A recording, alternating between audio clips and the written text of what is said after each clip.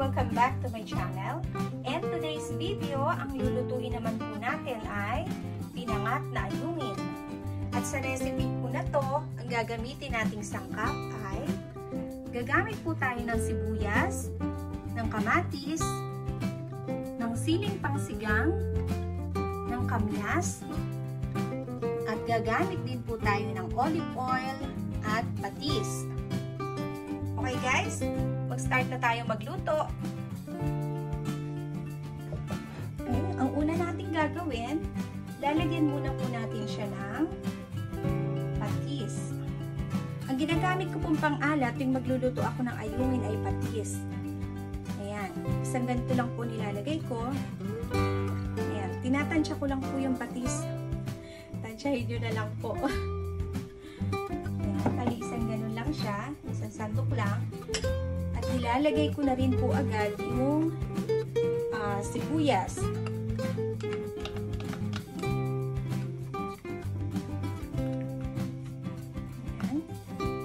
Pagsasama-samahin lang po natin sila. Lalagay ko na din ang kamatis. Nasa sa inyo po yun. Ha? Isang kamatis lang po ang nilagay ko dito. Pero pag gusto po ninyo ng uh, madaming kamatis, kayo na lang, dagdagan nyo na lang po. Kasi masarap din po yung naiuulam yung kamatis. yung pong ano niya, yung sabaw niya samahan nyo ng kamatis. Pero hindi muna po natin lalagyan ng sabaw. Kasi, uh, ito pong ayungin, may karga pong ano yan, may kargang tubig. So, habang pinakukuluan natin, lalabas pa yung tubig niya. Yung sili po, mamaya natin ilalagay pag malapit na siyang maluto.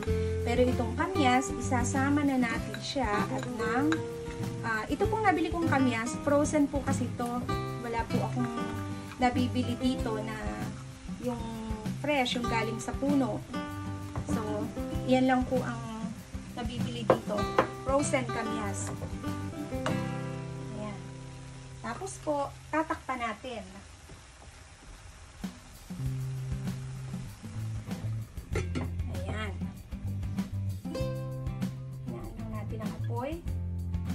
Hihintayin lang po natin ang kumulo ng kumulo. And then, i-check natin maya-maya. Tapos, lalagyan po natin ng oil. Wala muna pong sabaw. Lalagyan muna natin siya ng olive oil. Pa, ang tawag po doon ng ate ko eh, um, pakukuluan ng pakukuluan, tapos patitiimin daw po sa mantika. Saka yung, yung patis para daw po lumasa doon sa isda. Basta wag muna daw po sasabawan para masarap. Yan. Pero kung gusto po ninyo ng maraming sabaw sa pinangat, yeah, um, dagdagan nyo na lang po ng tubig. Ako po kasi ito yung way ko ng pagluluto ng pinangat na ayungin. Konti lang po yung sabaw niya. At um, hindi ko hindi ko po nilalagyan ng ano kasi para po ba siyang nagmumukhang sinigang pagka masyado siyang maraming tubig. Ayan. Check po natin maya-maya.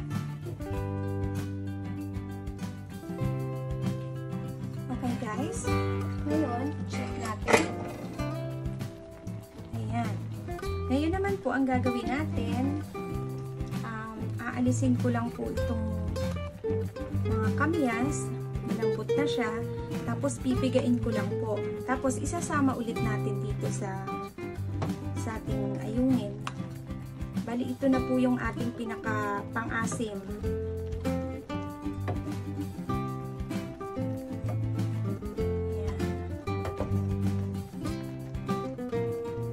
Kanina walang tubig yan. Walang sabaw yan. Ngayon may sabaw na kasi marami po siyang kargang tubig. So, mas masarap po kung ang tubig niya ay ganyan lang. Yung kanyang sabaw, inanggaling din sa sa ayungin, sa isda natin. Mas malasa po siya. Mamaya ko po ilalagay itong sili pagka yung malapit ng maluto. Kasi baka po umanghang. Maanghang po kasi itong serrano.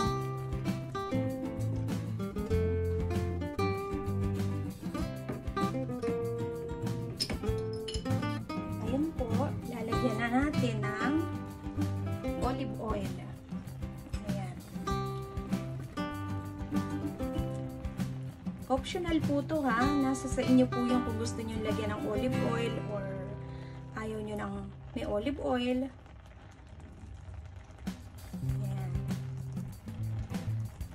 Po may uh, may linamnam.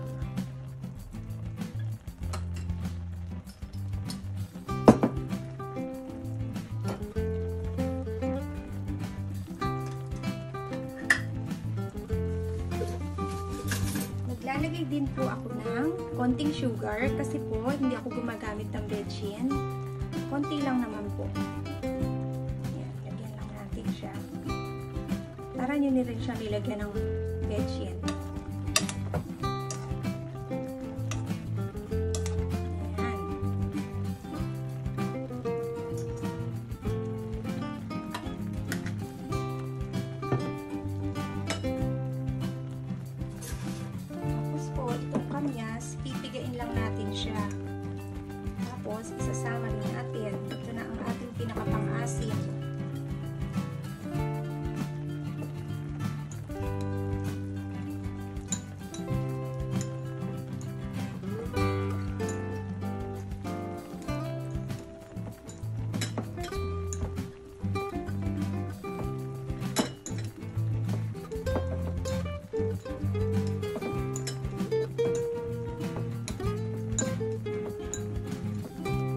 Pwede, na, pwede po kayong gumamit ng sampalo.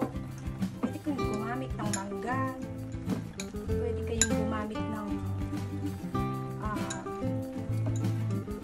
yung pong sampalok mix yung fresh na sampalok galing sa puno.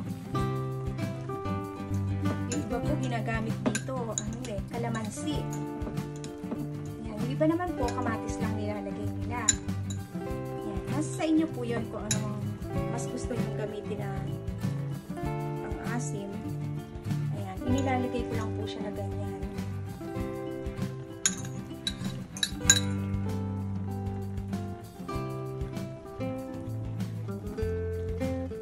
Para po merong konting asim. Tapos po, ilalagay ko na din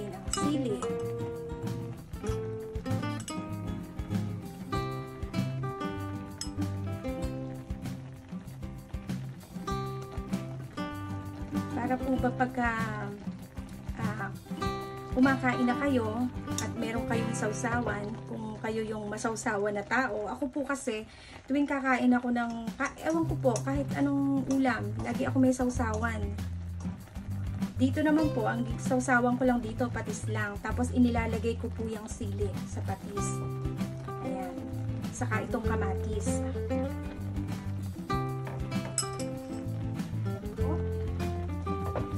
Tapos, tatakpan lang po natin. Hintayin natin maya-maya. Ah, hintayin lang natin maluto yung sili kasi hilaw na hilaw pa siya dahil kakalagay lang natin. Baligyan niyan po ako mag ano, mag luto ng pinangat na ayungin. Halos wala pong sabaw. Ngayon, ito naman pinagpigaan ko po ng kamyas. Nilagyan ko lang ng konting tubig para po mabanlawan. Tapos isasama ko lang siya dyan. Ayan, konting-konti lang po. Ayan, tapos po, tatakpan natin.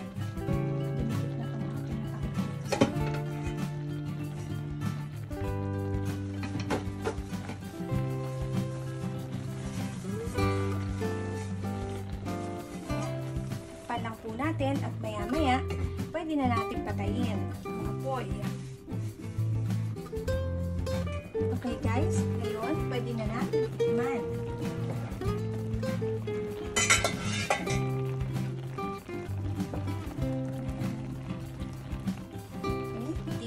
Time.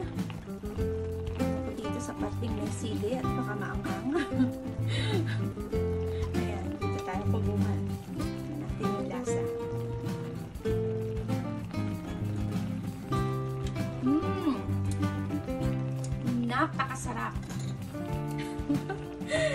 Sobrang sarap!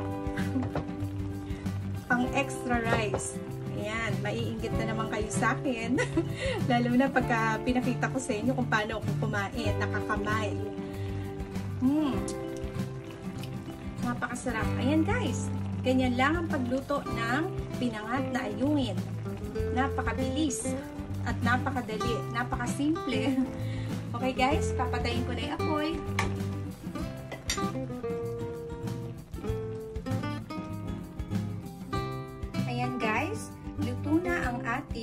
Pinangat na ayungin sa kamyas.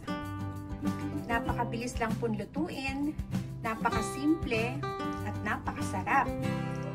Okay guys, kain na tayo!